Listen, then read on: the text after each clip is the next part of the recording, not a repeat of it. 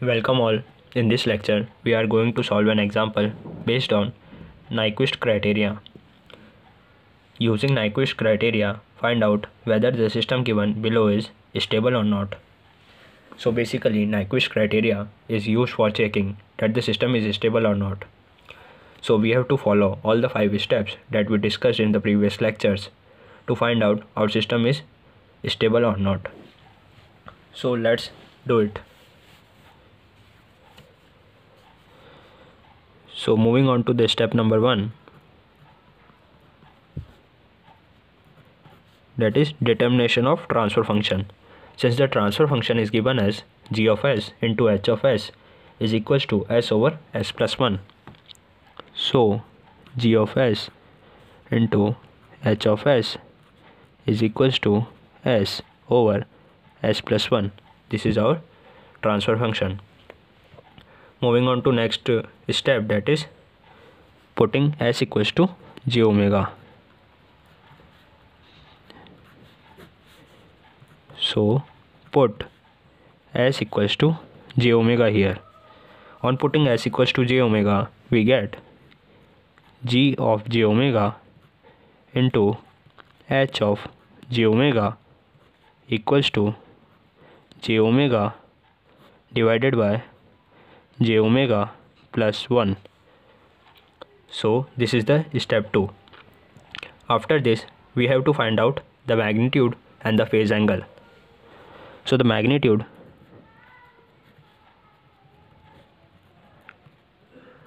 that is represented by mod of g of j omega will be mod of g of j omega will be equals to under the root omega square plus there is no real part so we can take 0 here divided by under the root omega square plus 1 square that is 1 only. So mod of g of j omega will finally become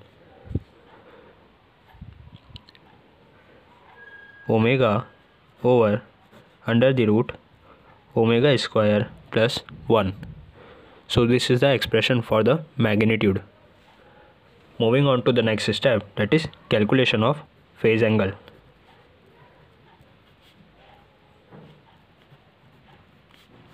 So the phase angle can be represented by angle of g of j omega. So the angle of g of j omega is equals to tan inverse of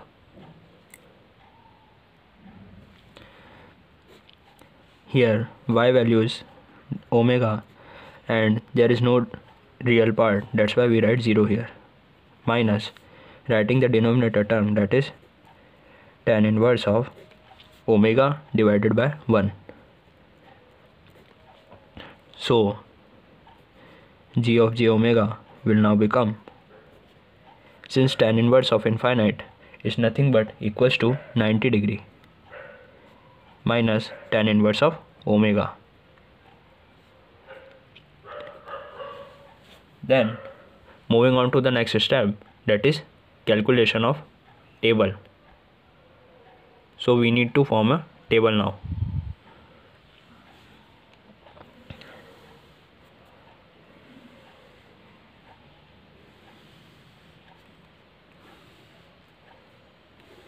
for the various values of omega the magnitude and the phase angle changes.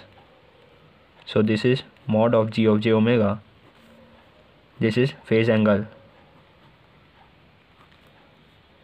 We have to calculate the magnitude and phase angle for various values of omega. That is for 0.0 we will calculate. After that for 0.2 then for 0.5 then after for 5 we will calculate.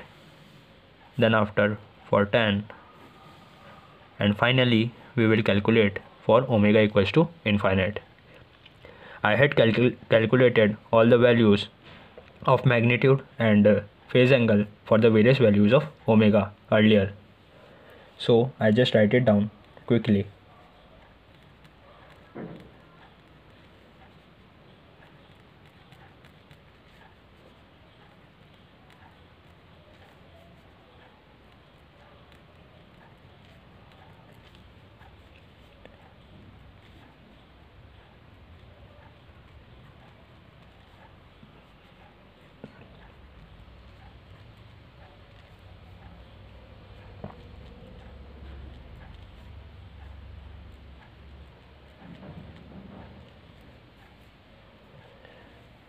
so these all are the values which I get by putting firstly that omega equals to 0, 0.0 in this place. Then we get the magnitude that is equals to 0 only. After this for the various values of uh, omega we will calculate the magnitude and that will be like is this. After this for the various values of omega we will also calculate the phase angle from this formula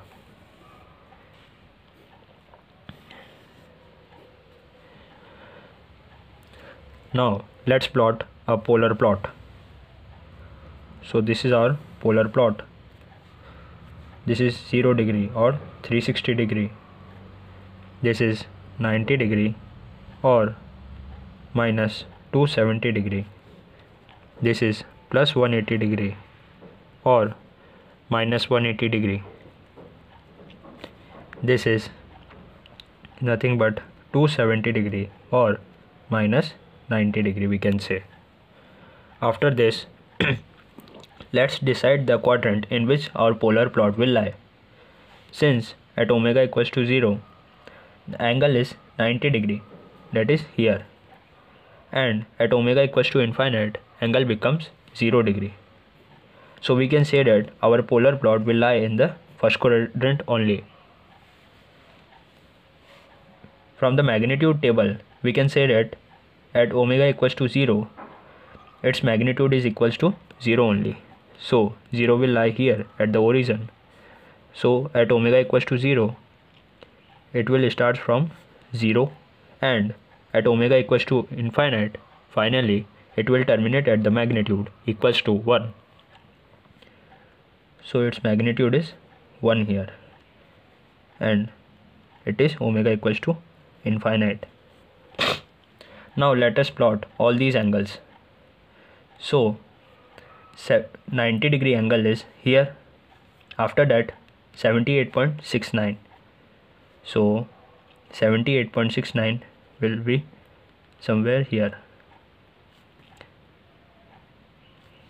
After that 63.43 so 63.43 will be here after that 11.30 so this angle will be here. After this 5.70 so it will be here. And finally 0 degree. So it is here.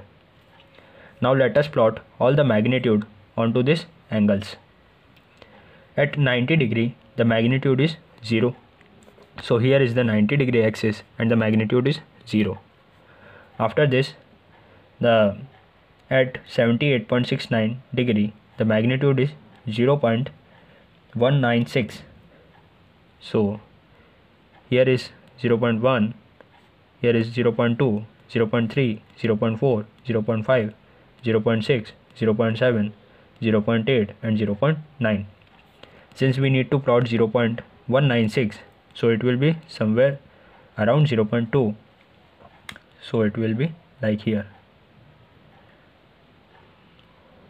After this 0.4 we need to plot. So the 0.4 is here. So in parallel to it it will be here.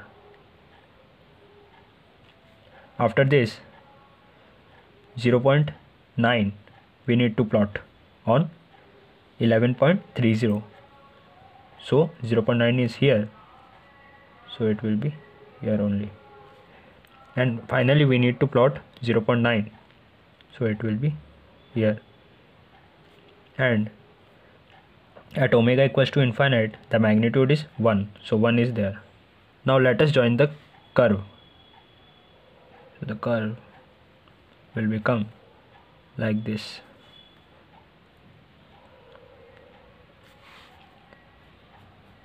let us smoothen this curve.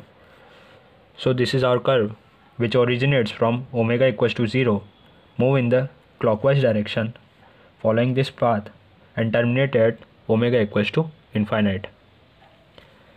This is the complete polar plot. Now let us draw our Nyquist plot.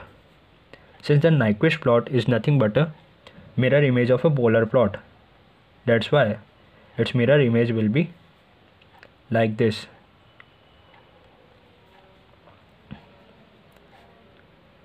This is the Nyquist plot. And following the clockwise direction the Nyquist plot will be like here. This is the cl clockwise direction. And finally the Nyquist plot will terminate at this origin at omega equals to 0 minus. Since 0 plus and 0 minus are both connected to each other. That's why this is a complete Nyquist plot. After that we need to check that our system is stable or not. So here is somewhere minus 1 so this is a point of minus 1 plus 0j and we need to check that whether it is this point is encircled or not since this circle this point lies outside of this Nyquist plot so we can say that the value of n is equals to 0 because n basically represent the number of encirclement of this point and since it is not encircled that's why the value of n is 0. Now let us find out the number of positive poles that lies in the right hand side of S plane.